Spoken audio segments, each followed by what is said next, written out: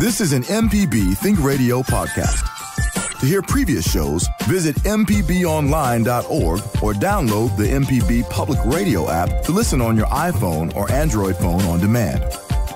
On Money Talks, we discuss money news and take your questions about personal finance. For 15 years, we've provided free financial information for Mississippians. I hope you can join me, Dr. Nancy Lottridge Anderson, co host of Money Talks, Tuesdays at 9 a.m. or anytime on our podcast. From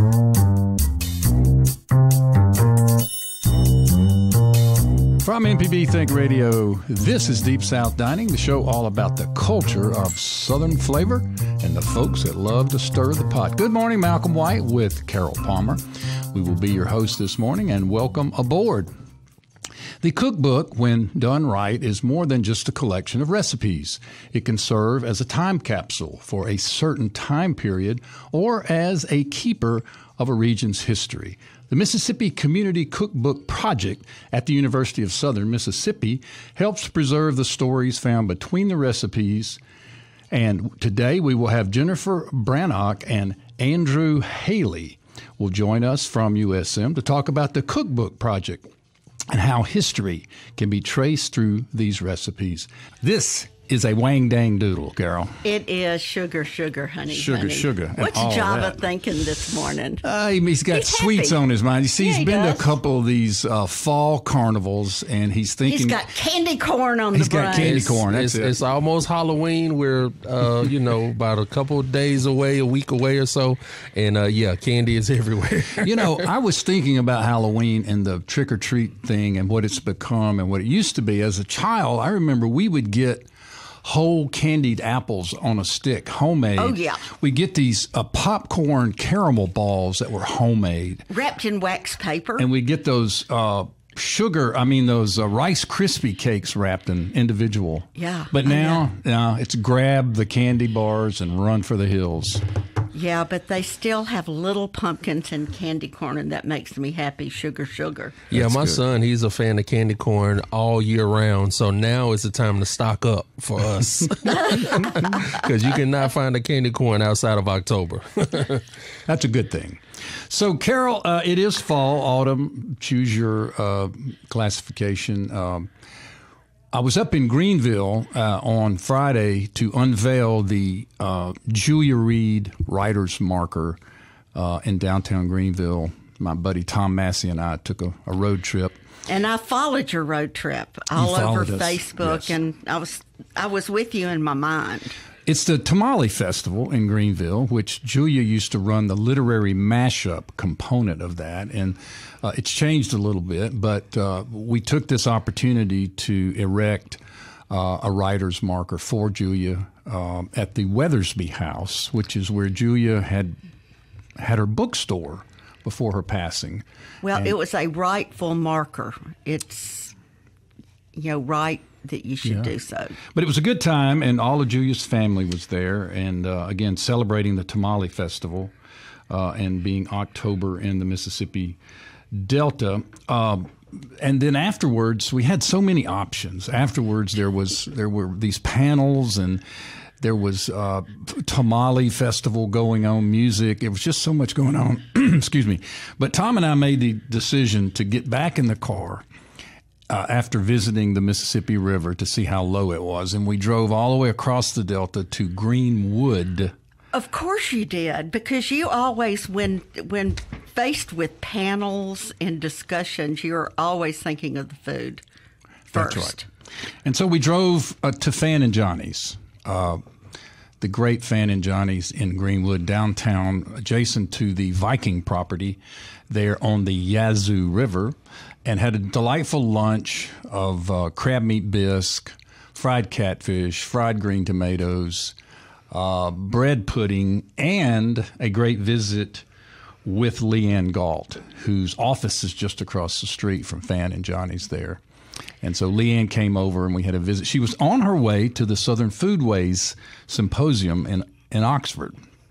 And I've invited her to call in next week and give us a report on SFA. You and I used to go Oh, yeah. regular, all but we haven't been in a while. I know, I know. I went for the first 12, 13 years. But, you know, Leanne Galt is herself a culinarian.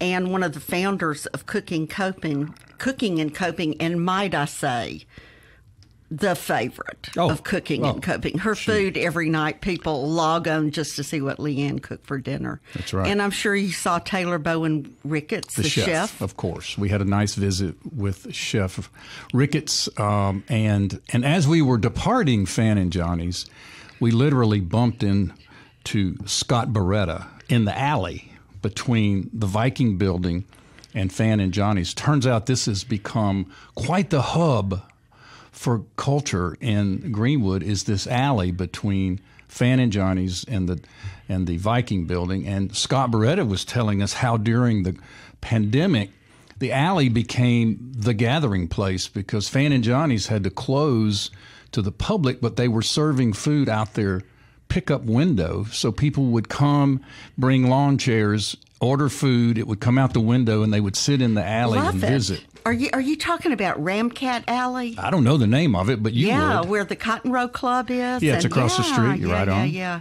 Well, um, love Scott Barretta, the king of the blues around here. You know, great show. So you, you really you were on the trail. Oh yeah, oh yeah. We stay on the trail.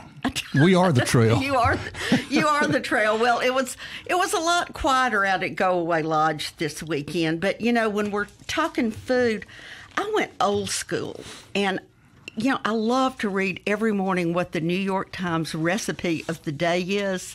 Yeah. And Malcolm, it was a tuna melt. A tuna melt. Who knew that the New York Times would be pimping? Did they use would- yellowfin? uh, was it canned no, tuna they or they didn't. It was it was really old school. But what kind of interested me and what I wanted to tell you that legend has it that the tuna melt was accidentally invented in the '60s Hmm. at the Woolworths lunch counter in Charleston, South Carolina. And it was when a cook did not notice that a bowl of tuna salad tipped over onto the grilled cheese. Oh, And the rest is history. I mean, it it may not be true, but it sounds it sounds like it uh, sounds it Deep sounds, South dining. Yeah, it sounds it sounds reasonable, but but uh, this tuna melt had, you know, extra sharp cheddar. Of course, they had to do something different, so they used like cornichons. But uh, John Palmer was he was pretty darn happy watching football and eating an old school tuna melt. I you lived just on don't tuna see melt. it. I mean, you don't see it on menus. No. Remember, Shoney's. All these people used to have Used a tuna it. melt. Well, I lived on tuna melts when I was out in California. We had them almost every night because it was what we could afford, and it was fun. You would make the sandwiches, wrap it in aluminum foil, put it in the oven, and put it on very low until it toasted, and you bring it out, and it was crisp and melted all the way through. We didn't cook it like a grilled cheese. We actually put it in the oven in foil, and it makes a, it's a slow cook. Well, it's not a cook; it's a warm up. Everything's already I bet it turns gooey. very gooey and very good. Well, you know what? Let's bring the tuna melt back. Let's do it. Hey, you know, uh, with the season changing and all things being autumn, I noticed on Cooking and Coping, people were sort of talking about their favorite fall uh, recipes, their favorite fall meals. Chili was was talked about quite a bit, but I wanted to share what my favorite autumn dish is. This this says autumn to me: baked apples. Baked apples. I can Is that smell a, them a, now. a way of saying spiced apples? Spiced apples are a little different. You t- baked apples is a whole apple cored and filled with honey or brown sugar or butter or oil or whatever you want to put in the middle. Put them in the oven and slow bake them, and uh, when they come out, they're soft and warm and gooey. And, and your house smells fantastic. Your house. Thank yes. you. Yes, your house. your house becomes like autumn. Yes, autumn. Of course. On the phone today, we have from the Mississippi Community Cookbook Project at the University of Southern Mississippi, directors Jennifer Brannock and Andrew Haley. Welcome. We're so happy to have y'all on the show this morning. Happy to be here. Ah, hello, Jennifer. Great to be talking to you, Carol and Malcolm. Thank you, Andrew. You've been on before. That's right. We called you once before, did we not? You and I have chatted about this subject before, but this is our first time on Oh. the uh, radio with you. Oh, well, So- great. Welcome, welcome, welcome. Well, Jennifer- nobody loves cookbooks more than Malcolm and me. We have, we have been friends for decades, and we have been collecting and swapping. And Malcolm is actually a cookbook finder. Finder of the cookbook. That's right. I love them.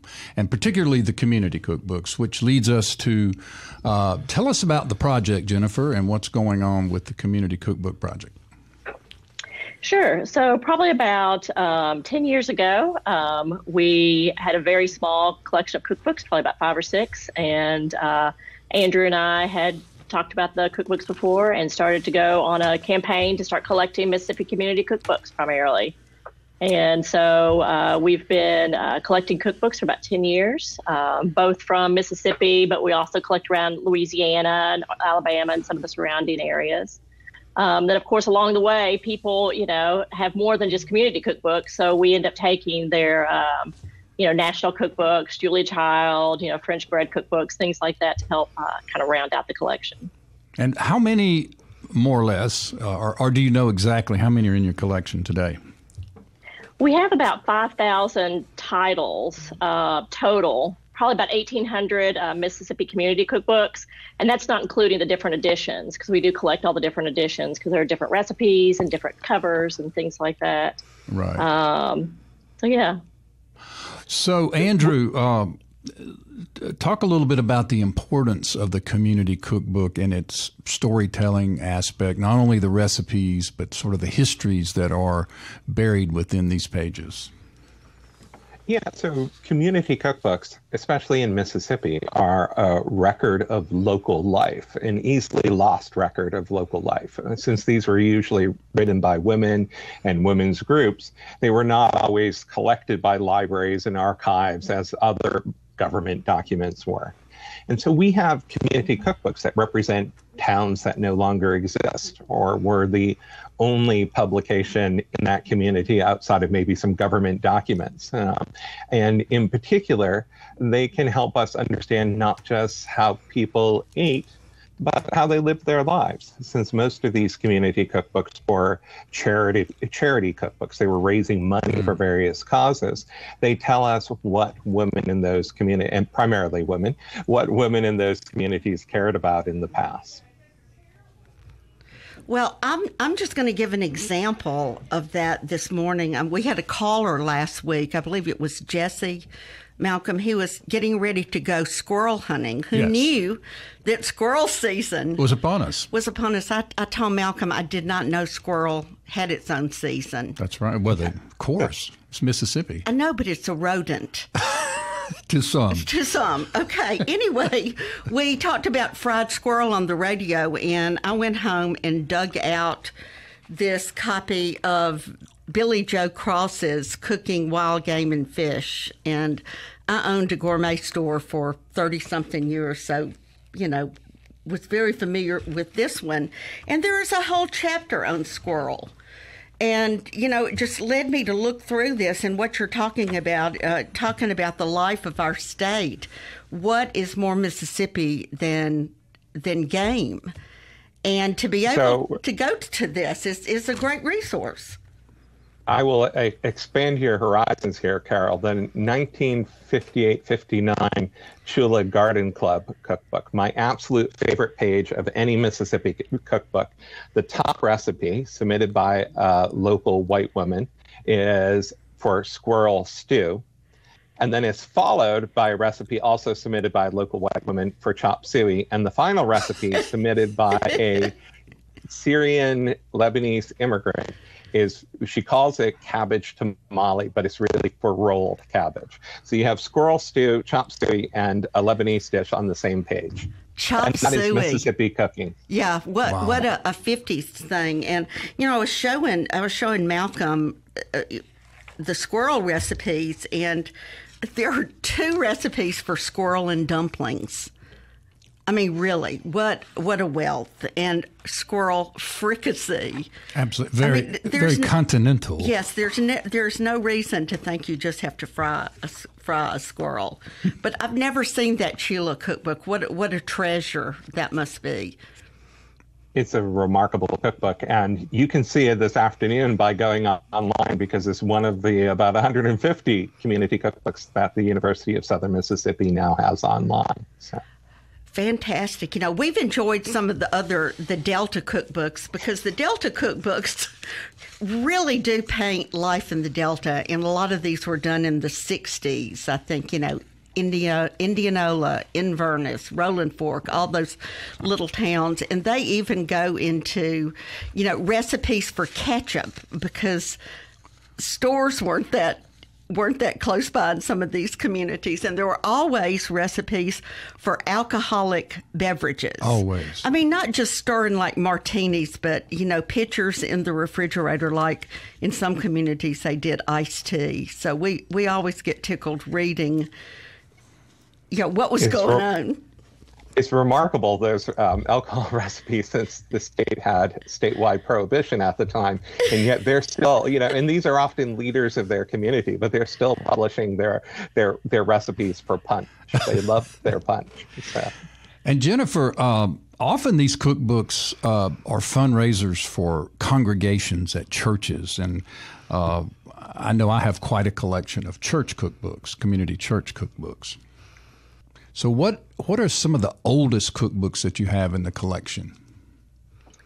I think the oldest one we have is a Brookhaven cookbook from maybe 1904, I think, um, is the Yeah. oldest one that we have. Is that right, Andrew? I think the That's right. We have a reprint of one from um, Woodville, Mississippi, which is probably the oldest community cookbook in Mississippi.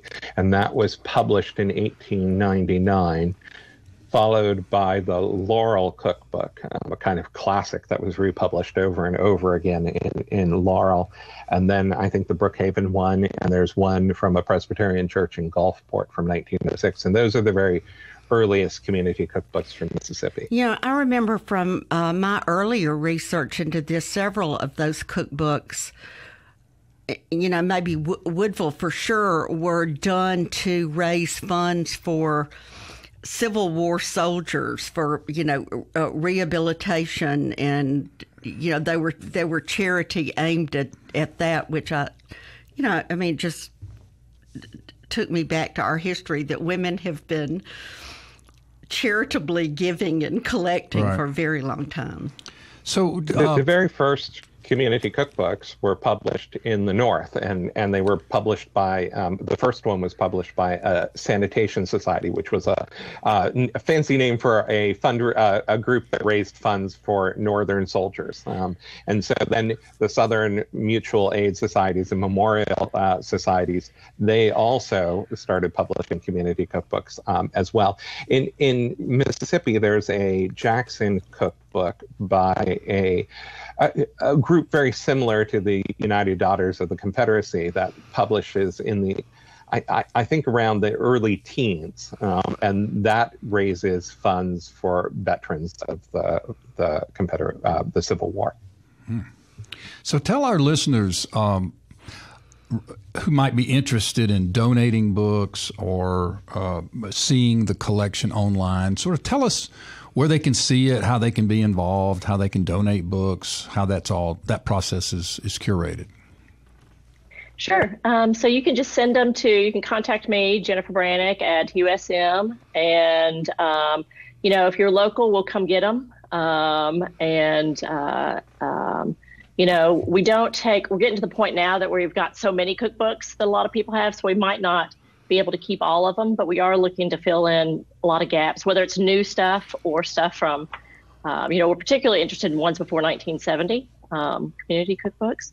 Um, as far as finding them online, you just go to our digital collections at in special collections at uh, Southern Miss, and um, you know, feel free to contact me um, with any questions. Are there specific? In the early days, Go ahead. we were so excited to get everything we could. Um, we had some amazing donors who gave us a thousand or more cookbooks. Um, now we have to be a little bit more selective because the library is running out of room for our cookbooks. um, but but um, we there, there are still um, older cookbooks that we are trying to locate, and one of our objectives for years now has been to locate older African American community cookbooks. There is not a single cookbook that we've been able to even identify by title um, published by an African American civic group or church group prior to the 1970s. Hmm. So, this was my, um, this was going to be my my next topic to a- ask you about because you know all of that history you know with the the proliferation of the junior league cookbooks which started in the 50s and all of that with no African American cookbooks now we're seeing a proliferation of people going back and uh, doing these cookbooks. I'm thinking of Toni Tipton Morrison and the Jemima Code and uh, you know her books and the the Black Family Reunion Cookbook was one of the first that I sold at the Everyday Gourmet when uh, when I had it years ago, and also a writer from Mississippi named Kathy Starr did a cookbook in the you know in the 80s but I, am just so uh, gratified to see the number of books that are coming out now that are trying to recapture some of this history because that's where a lot of the great cooking went on and also that was the cooking that was going on in the white kitchens where the women wrote, wrote down the recipes and put them in their community cookbooks. Yeah. There's a book uh, i wonder if it's in your collection. It's not really a community cookbook but it isn't from a young african well a young African American chef, Jesse's Creole and Deep South. I think it's favorites is the, top, the title. It was a fella in Bay St. Louis, and as you say, and people are looking for that. That's a tough one to find. I wonder if you have it in your collection. We absolutely do. Um, and it was one of those uh, original ones that were of those five or six cookbooks that uh, Jennifer mentioned that we had in the collection. It's, it's an amazing cookbook. I mean, he was, he was a, um, uh, young African American man who worked for this family in Bay St. Louis, if I remember correctly. Um, That's right. And they helped him to get training as a cook, and he became a, a, very celebrated local chef. And they published this cookbook with his recipes. I think, I, and off the top of my head, in the, the late 50s or, yeah, or 58, I believe, something uh, like 58, that. that. sounds right, yeah. Um, but, but it's, it's a great cookbook, very like much of southern Mississippi and parts of the Delta, is very influenced by uh, Louisiana cooking, so Creole and, and later Cajun cooking. Right, because they many uh, New Orleans families, as you know, spent their uh, summers uh, in Bay St. Louis, and they had homes there, and they entertained. And in this book of Jesse's, the forward talks about all the uh, celebrities who came to dine at their table and uh, and he's his cooking is very much influenced, as you say, by New Orleans, by the Creole recipes, because a lot of these people uh, they traveled. There were there was no state line in those days between Bay St. Louis uh, and New Orleans, and and those cuisines travel back and forth, and it's a great. This book is a great history of that. I, I think of it as the sort of Old Testament of of Gulf Coast cookery that was influenced by Mobile, New Orleans, the, the readiness, availability of seafood, and all of these uh, influences colliding at once. The Deep South, Carol, there's a lot of game recipes in there. There really are. Squirrel, yeah. I mean, it's so important, uh, so important in the life of, of the state, and that's what a lot of people cooked and still cook stretching back to the 19th century, uh, there were lots of cookbooks that were written by black chefs, but were kind of sponsored by white patrons. Um, and this was very, this book is very much in the tradition of that.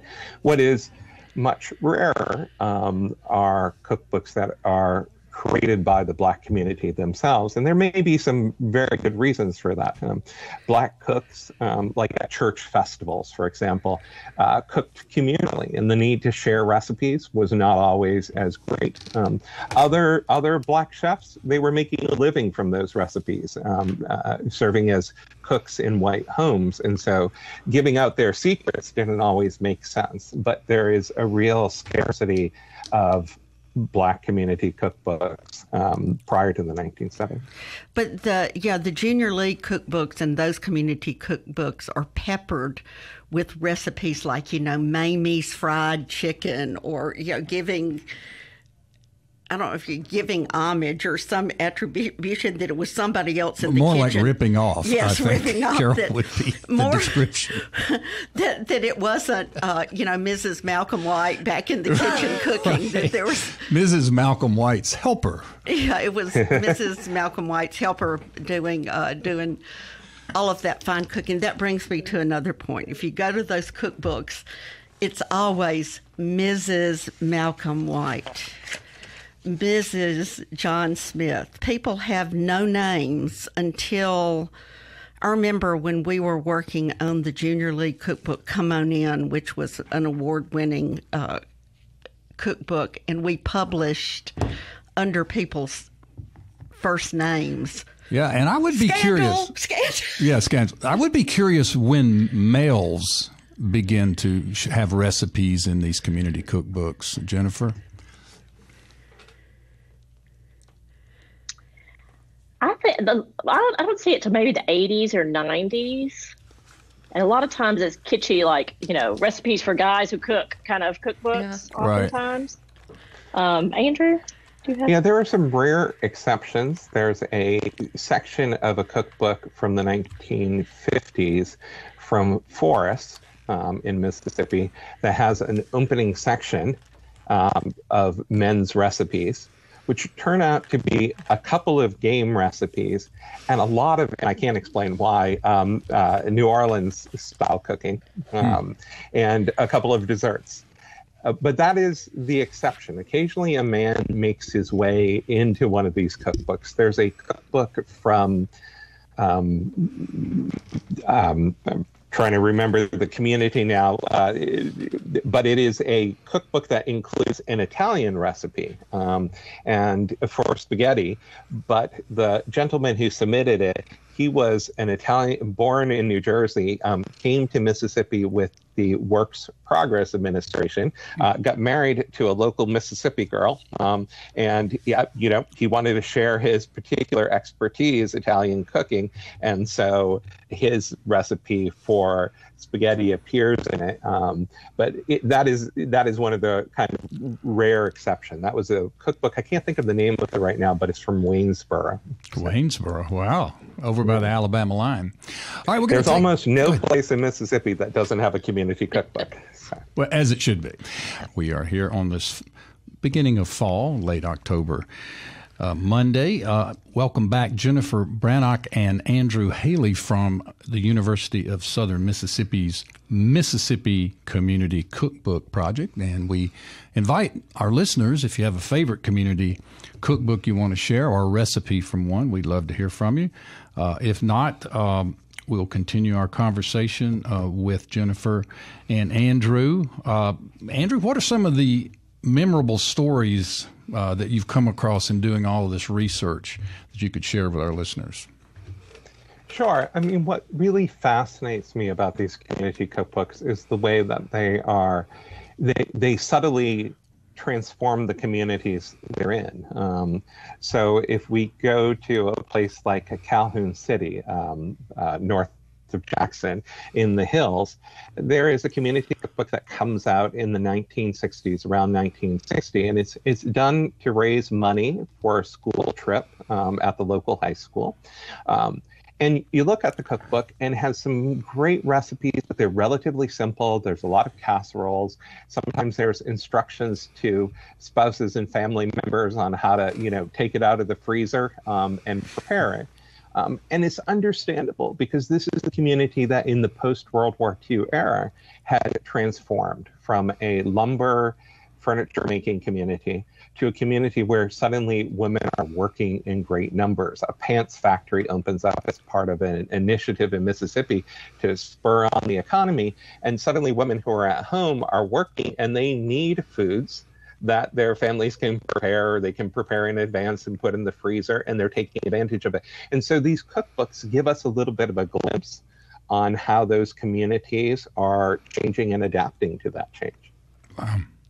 Yeah. Uh, while we were on break, I looked up. There was an article that Mississippi writer Larison Campbell did a couple of years ago on her mother's cookbook collection. Her mother had boxed up these cookbooks and sent them to her in New York. And she hit on a subject that we were just talking about about how do men get their names in a cookbook. And it says women's names were on everything except when it came to hard alcohol. And then, and then it was uh, the husband's name, and she uh, she repeats this recipe for the refrigerator martini Ah, that is yes. under the husband's name. Two parts gin, one part vodka, measured in cups, not ounces. the cocktail can be mixed in an empty fifth bottle, as its name suggests, stored in the refrigerator. Rather than suggesting we'll serve 12 to remind the reader not to drink it alone, the instructions simply read, We'll keep as long as they last. Wow. Java, what as, is your as a histor- oh sorry as a historian it is immensely frustrating when you're trying to figure out who these people are and you don't have the woman's first names you just have their husband's names It has to um, be. Interesting. Java, what is your first uh, sort of interaction with the community cookbook? I, I know we sit around here and talk about them all the time, but when did you first see your first one and what do you remember about it? I can't I can't recall I guess when I first saw my first one, but I know it had to do with my grandmother's house because the one thing that I can remember about these um, now that I know our community cookbooks, they are you know they were just printed out on this kind of I don't know not really hard paper, but it wasn't thin, you know, paper uh, either. And they were always under on the spiral, had the spiral um, spine. And I always thought that was interesting. And it kind of just indicated to me like this is a cookbook, the spiral spine and the, um, you know, and, and, and that kind of special paper. I wish I had a name for it, but it was, I guess it was to uh, handle splatter and being in the, in the Ah, kitchen a little bit. gotcha. You a know. utilitarian type paper. Uh, There you go. Andrew, do you or Jennifer have comments about the paper that in the early cookbooks with might have had? Well, I, I don't know much about the paper, to be honest, but those spiral bindings are, are a classic part of the community cookbook. And when I'm in a bookstore, I scan the shelves for those spiral bindings because I know they're going to be community cookbooks. Um, many community cookbooks in the 20s, 30s, 40s were printed locally and put together by people in the community. They would sell advertisements to local businesses to raise the money to print the cookbook and then print the cookbook for profit for the charitable Right. group. By the 50s, late 50s, and 60s, more and more of this is being done by national corporations that specialize in the printing of community cookbooks. Um, and that's probably where the special paper gets introduced. And I know from reading many and perusing many more that there's often uh, the publisher, or the printer, is this corporation who goes around and says, "Hey, how would your church congregation like to have a cookbook?" or "Hey, how would your organization like to have a fundraiser?" And we can facilitate that. And often there'll even be a rip out coupon in the back of the book for these companies who do this type of service for for these communities. In the 1950s, they would send representatives to your hometown, and they would stay with a member of a club or or uh, organization, and actually kind of help you get started, right? Facilitate it uh, for you. So. Great. We got a couple of callers. Let's go to the line, phone lines now. Brandon is calling from Pontotoc, Mississippi. Hello, Brandon. Hi, how are you guys? We are well, thank you hear me? Yeah, you sound Hey, great. good. Uh, well, you know, I'm just so excited to hear this program because I am a huge cookbook fan. I have had at one time over 500 myself, um, but unfortunately they burned in a house fire. But I've collected Ah. more since then, um, and I think it's really amazing how you know when you look at cookbooks, um, you, you you find things in them sometimes that you don't expect, where people come in and write or change recipes, and also insert recipes from magazines or newspapers or products that they purchased. And I just love the fact that there's so many different types. I know that I've got several that are that are cookbooks that came with products that people uh, companies sold back Uh-huh. in the 1950s and 60s. A lot of times when you'd buy a cooking uh, Right. one of these new cooking appliances, you would find that it would come with a cookbook, and um, and uh, and the uh, the microwave ones are interesting. I don't use microwave any longer, but they had some pretty interesting things that they did. But the other thing I want to say is that a lot of times, I think anyway, I know my family did this, uh, compile their own cookbook for the family that they give out at Christmas or. And uh, a lot of times those will have histories and photographs of home places and um, a lot of extemporaneous type of information that you know is really neat to look at. So That's great, I just wanted yeah. to add those. Yeah, so that's great. Y'all keep it up. This is wonderful. Great show. Yeah, well, thanks a lot. Uh, that that's good. You know, we were couple of weeks ago. We were talking about how the microwave uh, is the most antiquated tool in the kitchen. It hasn't evolved hardly at all. While the range and the refrigerator and the you know Cuisinart, all of this stuff has evolved, and there's always a new version of it. The microwave just continues to be the the microwave. Hit thirty seconds. Hit thirty seconds. You know, and it. But I do remember getting cookbooks uh, with new appliances. I guess that's quite a thing. Do y'all collect those as well? We do have a handful of them here and there because they just come in with stuff, and we, you know, started collecting. Especially early on, we didn't know what we were going to get, so we just kept it all. Right. Well, that's, we do have those. Yeah. All right, Jennifer ano- is a huge fan of those uh, corporate cookbooks, and we have some. Um, they're, they're often hilarious. Um, Yeah, very and, often uh, hilarious. Really entertaining. not meant to be, But, but, you know, we, we think of we have a tendency to romanticize the cooking of the past and we imagine that the community cookbooks are cover to cover you know southern cooking and classic dishes but in reality people shared the food that they were eating and often those were recipes they got from newspapers or magazines or these corporate cookbooks and those show up uh, regularly and are part of every everybody's lives Yeah. um, and there are certainly recipes that are include products by the brand name Campbell's soup or you know um, uh, a cracker company's particular recipes because that's that's what people were making and that's what they wanted others to know they were making. right. We've also got a caller uh, in Meridian, Mississippi. Raymond is on the phone. Hello, Raymond. How are you? Hey, how are you doing? Great. I just want just want to tell Andrew that some of the Haley cookbooks are collected by my sister.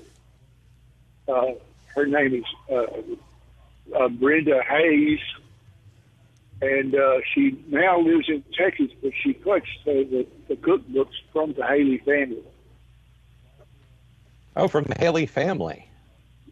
Well, I, I'd love Yes, to say that the- those are, are are my family. Um, I have grown to love Mississippi greatly, and I try to know everything I can about Mississippi cooking. But I'm a uh, northerner from New Hampshire myself uh, originally, and so that's where my particular Haley strand comes from. Um, so I don't know if those would be my family cookbooks, but family cookbooks are fascinating, and it's something that we didn't consciously collect in the early days, but we've placed a lot more emphasis in recent years.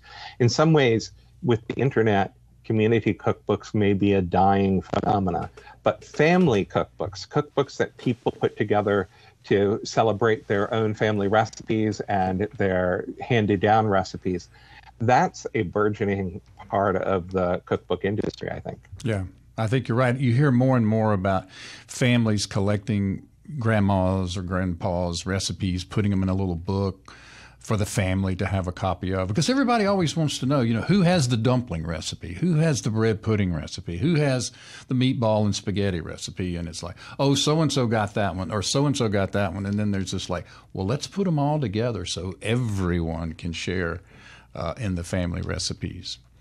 Got Yeah, another- and that's one of the- fam- um, sorry. no, go. You're good. and that's one of the things with the um, with the community cookbooks is that you know there are lost family recipes that are found in there. So I've had coworkers who have gone through and remembered their mother's treasured orange cake, and they were able to find that in a cookbook. And it was something that a lot of people come to us because their parent, their mothers put their those recipes in there. And as we've been able to digitize those cookbooks, um, we can search them electronically, which allows us to track down people's family recipes um, or specific recipes you remember that your neighbor made when you were a kid and you haven't had for years. We might be able to locate this. Yeah.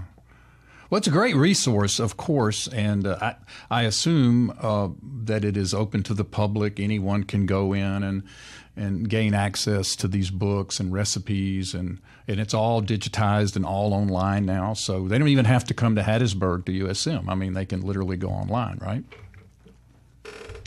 Yeah, we have the older ones, about 150 of the older ones online, the pre 1970s, and then um, everything we have is available for people to use. So if anybody you know wants to c- come here, we're open Monday through Friday from nine to four. You'd be happy to have them. exactly, we love to have them. All right, we got another caller from Oxford, Mississippi. It's it's our buddy Chico Harris. Hello, Chico. What's up? Yeah, I, I wanted to offer this is for anyone that's interested in uh, publishing a cookbook or any book there is a very fine company. Um, about 12 years ago, I, I researched printers from Baltimore to Beijing. And the best one I found with the quickest turnaround, the less expensive price, and the best quality product is a group of Mississippi people. They're Ole Miss people. The company is in Collierville, Tennessee right over the state line. But they do a fantastic job with, like I said, great turnaround, great price, and a great product. I recommend them to anyone. And, and they're good people from Mississippi. And and who are they, Chico? It's instantpublisher.com. Okay. Is the way to contact them. Instantpublisher.com. The website is the best website of its kind I've ever seen. They make it super easy for you to give them their book, and they give you exactly what you give them. You don't have to worry about a thing. So, if any of our listeners are contemplating publishing their own cookbook, and this is a tip on a, a publishing house from Chico, uh, Instant Publisher, publishing.com, what is it? Publisher. Publisher. Instant okay. Publisher. Yeah. Dot com. I, I think often you, you need need a company to um, help you out and get get get things over the line and get things printed. But I have to tell you, some of the most wonderful cookbooks in the collection are ones that were completely created locally and printed by a local printer, um, handwritten copies, like a cookbook that we have out of uh, uh, Columbia um, or Columbus. Sometimes I get confused. Um, and uh, or we have a cookbook that was presented as a wedding present that was put together by an entire community in uh, Lucedale. Uh, and these are just gorgeous. And the single prettiest cookbook um, in the collection comes from Shelby in the early 1960s. They actually sent this cookbook to uh, be printed in Great Britain. Um, it is on uh, kind of heavy textured stock paper. It's all a kind of uh, light mint green and has these beautiful modernist hand drawings throughout. It's just a lovely cookbook to look at. So while I appreciate these cookbooks for their recipes, many of these are works of art. Many of them are illustrated by local people who drew pictures of the food or drew pictures of community members or the local church. Um, so they they can be enjoyed on these multiple levels. Some of them have local histories that were written by members of the community or histories of the organization that put out the cookbook. Um, so while the recipes are st- always going to be the core of these cookbooks, they can bring us pleasure in multiple ways. Now, Jennifer, Andrew, um, I, you may have answered this earlier in the conversation, but how do you guys get the books for your collection? And can people um, bring books to you guys to be archived? And do they get those books back? I don't know. Just talk about that process a little bit. Sure. So, probably about 99% of the books we have are through donations. And so we've had people as far as Virginia. We took a U-Haul to Virginia and picked up 4,000 cookbooks one time for from one donor. Wow, it was, from, it, was, it was from Mississippi. That was a it was a lot of real treasures. And um, um, so yeah, you can just um, you know have people who mail me. If there's one copy, they'll mail them to me, or we can go pick them up if it's local or near local. we like a good road trip, so um, and um, yeah, and then we, um, you know, keep hold of them, and if they're early, we try to make them available online if we can. It's always best to uh, contact Jennifer about this. If I get hold of them, they stay in my office for you know a year while I'm I'm looking through them. So um, Jennifer is just a master at ensuring that they get processed and available to the public quickly and efficiently. So. Well, oftentimes people will get in touch with Carol uh, or I and want to donate books. So now we've been sort of stumped about what to do with this these offers of people mail me books, you know, because we have a show about cooking and cookbooks, and so now we have this great partner, uh, and as we receive copies of these community books, we will certainly forward them on to you, and we would encourage our listeners to do the same if you have multiple copies or if you have old community cookbooks you don't use anymore or or just stored in a box in the attic now they can have a home a prominent home uh, in the special collections uh, at the University of Southern Mississippi, alongside the great De Grummond collection of children's literature and children's books there at USM.